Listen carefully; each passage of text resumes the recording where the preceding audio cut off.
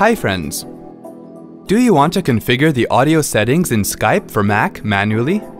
Let's go ahead and see how this can be done. Sign in to your Skype account.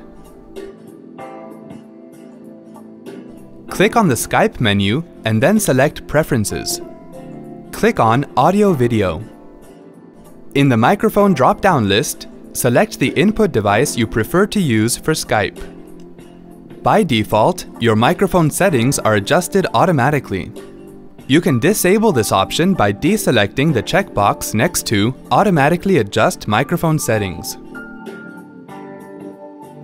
In the Speakers drop-down list, select the output device you prefer to use for Skype. In the Ringing drop-down list, select the device that will ring when someone calls you on Skype. This is usually the same device selected in Speakers. Once done, make a Skype test call to check the settings. Wasn't that quick and easy? Thanks for watching.